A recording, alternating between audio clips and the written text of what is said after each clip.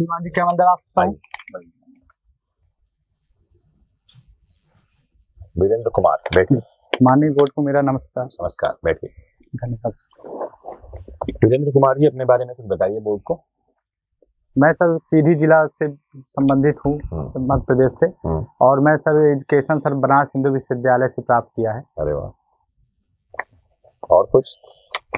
और सर मेरे पिताजी का नाम सर श्री राम सिंह जो कि सर पेशे से कृषि कृषक हैं। हम्म। और मा, माता जी गहरी हैं। हम्म। और मेरे दो भाई और तीन बहनें हैं। बनारस हिंदू विश्वविद्यालय में आप रहकर पढ़ रहे हैं वहाँ पर में हॉस्टल में रहते हैं आप? जी इस बार सर एल एल कंप्लीट कर चुका हूँ सर। आपने जो B A L L B किया है ये आप बी एच यू के कैंपस में रहकर किया है आपने? जी सर। तो अब जो बी एच यू का कैंपस है वो क्या क्या विशेषताएँ क्या है उसकी वहाँ पर? B H U sir sir विद्या की राजधानी कहा जाता है सर और पूरे विश्व में विख्यात है। और आज भी छत्तीस राष्ट्र के स्टूडेंट वहाँ अध्ययन कर रहे हैं और और यहाँ सभी विभाग बी में स्थापित है। जैसे आपके कोई मित्र बने वहाँ विदेशी? विदेशी जी सर। कौन से देश का मित्र है सर कनाडा का सर। कनाडा का। नाम क्या है उसका? लूसा सर। अरे वेरी गुड और वो भी एल कर रहे थे आपके साथ? नहीं सर वो स्पोर्ट्स में था सर। स्पोर्ट्स में थे वो? जी सर। बढ़िया। लाइब्रेरी है वहाँ पर में बीएचयू में? जी सर। आपने लाइब्रेरी में समय बिताया वहाँ? जी सर। बिताया? जी सर। कौन कौन सी किताब आपने देखी या पढ़ी वहाँ? सर अपने ही कोर्स से संबंधित मैंने कौन सी किताब? जैसे sir IPC CrPC evidence evidence की कौन से ऑथर की किताब आपने देखी? ऐसी किताब जो है दिखती ना हो मिलती ना हो ऐसी कुछ रेयर किताब देखी आपने? ऐसी किताबें तो नहीं सर लेकिन मैंने सर जो पढ़ी सर इसके कपूर सर। और सर बांगिया सर एक कपूर बांगिया साहब बांगिया साहब ये तो हर जगह अवेलेबल है। कुछ कुछ एक्स्ट्रॉर्डनरी कुछ देखा आपने? जेम्स फिट्जराल्ड स्टीफन की कोई किताब देखी है आपने? सर चूँकि मैं सर हिंदी मीडियम का विद्यार्थी हूँ सर अच्छा, इसलिए आपने हिंदी की किताबें जी सर जी सर। ठीक है स्टीफन साहब तो इंग्लिश में ही अवेलेबल है। हम्म। आप अनुसूचित जनजाति से आते हैं। जी सर। अनुसूचित जनजाति शब्द जो है ये कहाँ परिभाषित है भारत के संविधान में? भारत के संविधान में सर नौवीं अनुसूची में परिभाषित कहाँ है? इसकी परिभाषा कहाँ दी गई? सर सॉरी सर आपके पास जाति प्रमाण पत्र है? जी सर उसमें लिखा हुआ है पढ़िए। आपने अपना प्रमाण पत्र भी ठीक से नहीं पढ़ा। जी सर इसके बाद देखने का प्रयास करते हैं।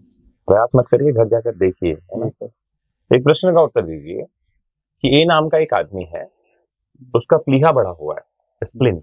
जी सर ये बी को पता है। जी। कि इसको ये बीमारी है और इसको थोड़ी सी चोट पहुंचाएँगे वहाँ तो ये मर जाएगा। बी उसको एक मुक्का मारता है उसके प्लीहा में।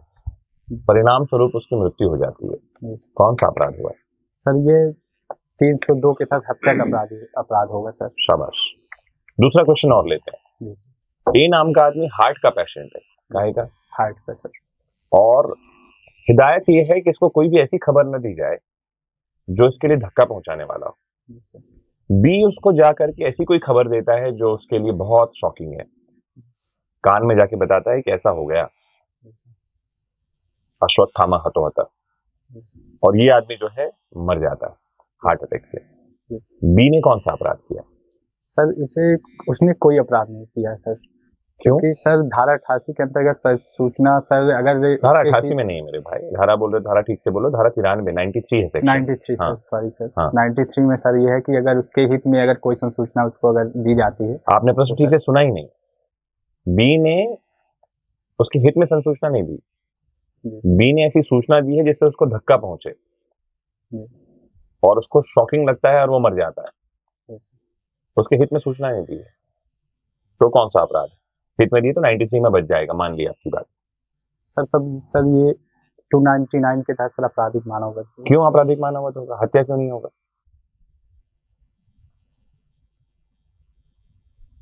बोलकर हत्या नहीं की जा सकती।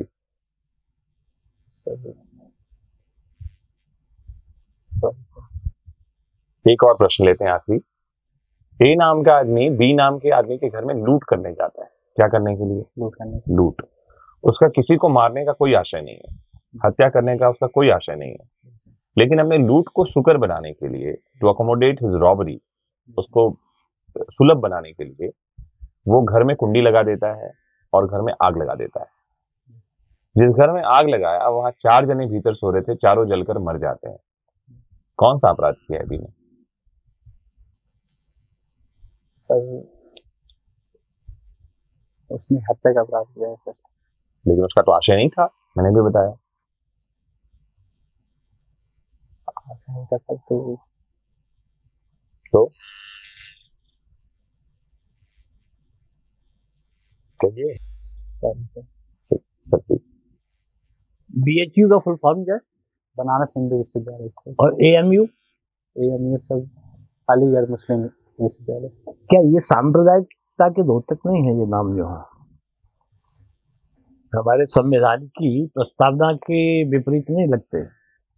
नहीं सर क्योंकि सर अपना भारत सर पंथ निरपेक्ष राष्ट्र है और यहाँ किसी भी धर्म को बढ़ावा नहीं दिया गया है। इस वजह से पंथ को नहीं एक हिंदू एक मुस्लिम को बता रहा है। तो सर ये पंथ निरपेक्ष इसकी स्थापना कब हुई थी बीएचयू की? सर चार फरवरी उन्नीस सौ सोलह में स्थापना हुई थी सर। किसने की थी? सर पंडित मदन मोहन मालवीय। पंडित मदन मोहन मालवीय। जी। उसका अलग से कोई एक्ट है जिसके तहत इस यूनिवर्सिटी की स्थापना हुई है? या सामान्य यूजीसी के अंतर्गत ही जब तक है? नहीं चलिए आपके सब्जेक्ट्स क्या क्या थे बी बी उसमें बी एल एल बी में। Sir IPC CrPC evidence last year three year five year three sir tenth three years sir tenth semester जो लास्ट था। उसमें क्या क्या सब्जेक्ट थे उसमें sir contract taxation administrative law administrative law contract contact act yes sir किस year में बना था? सर 1872 में सर एक वैध संविदा के आवश्यक तत्व क्या क्या होते हैं? कहाँ दिए गए हैं कॉन्ट्रैक्ट एक्ट में? सर एक वैध संविदा के लिए सर धारा दस में प्रावधान किया गया है।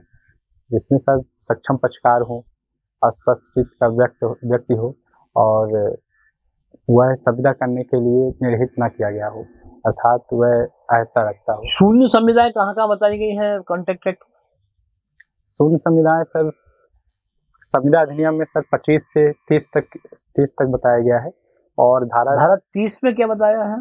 सर बाजी की करार सर बताया गया है जो कि क्या होते हैं बाजी के करार? बाजी करार सर जो अनिश्चित घटना पर किसी दो पक्षकार किसी बात को करने या करने के लिए कोई करार करते हैं सर। और जिसमें जिसके एक पक्षकार की जीतने की संभावना रहती है और एक की हारने की तो बाजी करार होती है सर। भविष्य की अनिश्चित घटना जी सर। पर आधारित होती है। जी सर। क्या करार करने वालों का उस घटना से कोई संबंध रहता है या उनका उद्देश्य कुछ और अलग रहता है? उनका उद्देश्य सर एक एक की जीत और एक की हार रहती है सर। घटना से कोई संबंध उनका रहता है?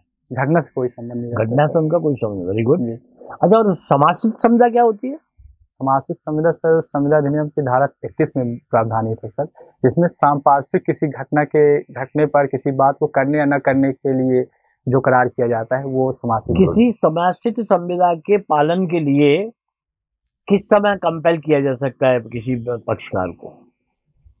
सर जब किसी ए और बी के बीच में समाजिक संविदा हुई है। ठीक है? जी सर।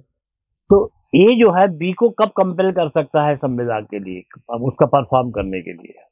जब वह किसी घटना के घटित हो जाने पर या घटना के घटित न हो जाने पर सर कंपेल धारा कहाँ से कहाँ तक है? अच्छा लास्ट क्वेश्चन समाज से संविधाओं के पालन की धारा कहाँ से कहाँ तक है? इकतीस में परिभाषा दे दी। जी सर। उसके बाद बत्तीस से लेकर कहाँ तक आते हैं? सर बत्तीस से छत्तीस तक प्रावधान है हाँ? समाज संविदा छत्तीस तक सर थर्टी सिक्स? जी। वेरी गुड बहुत अच्छी है। बनारस में आप रहे हैं? जी सर। तो वहाँ की जो मेजर टूरिस्ट अट्रैक्शंस हैं जो बाहर से आने वाला व्यक्ति ज़रूर देखता है ऐसी कौन सी जगह है? सर बनारस में सर वो शुरू से ही सर ये पुराने महासंत कवियों की भूमि रही है।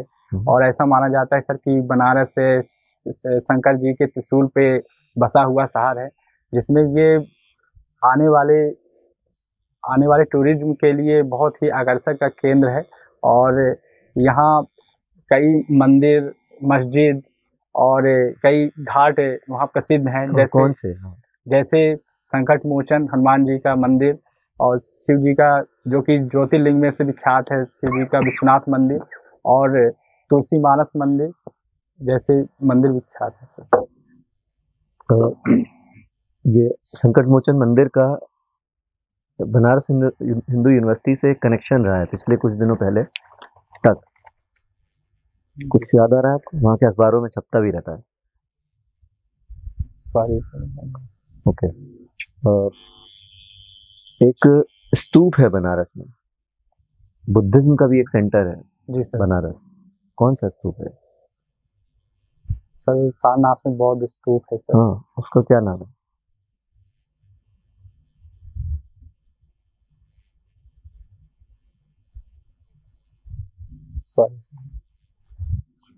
और कुछ बताइए बनारस के बारे में। बनारस में सर इसके अलावा सर यहाँ से बहुत कवि कवि निकल कर आए हैं बनारस की भूमि से। जैसे और कई शास्त्रीय नृतक और संगीतकार भी निकल आए जैसे कुछ संगीतकारों के नाम बताइए। हाँ।